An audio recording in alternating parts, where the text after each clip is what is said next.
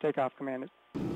With winds calm over California's high desert, Phantom Ray took its position at Edwards Air Force Base for its first flight. The unmanned technology demonstrator, unveiled last May by Boeing's Phantom Works organization, was built by Boeing under a rapid prototyping initiative. Rolling down the runway, the fighter sized aircraft with its 50 foot wingspan lifted off the desert strip at 9.05 a.m. Pacific for the 17 minute flight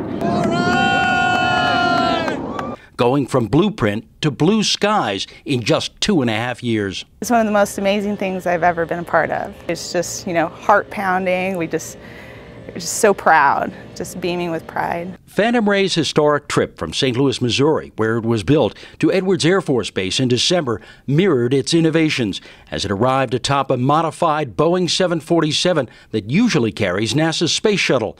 Its successful taxi tests and now first flight helped pave the way for the future of Boeing's full array of unmanned airborne systems. It's uh, proving out some of our rapid prototyping capabilities, which are important for future competitiveness. Uh, it also is a, a technology test bed, various kinds of payloads and materials and capabilities. And with that kind of flexibility, we can really test out new technologies, uh, get experience flying them, and use them to develop future products. Like a phantom over the desert, the pilotless aircraft's GE F404 engine pushed the autonomous jet to an altitude of 7,500 feet. Smoothly banking, its computerized precision flight plan guided the aircraft over the desolate landscape below.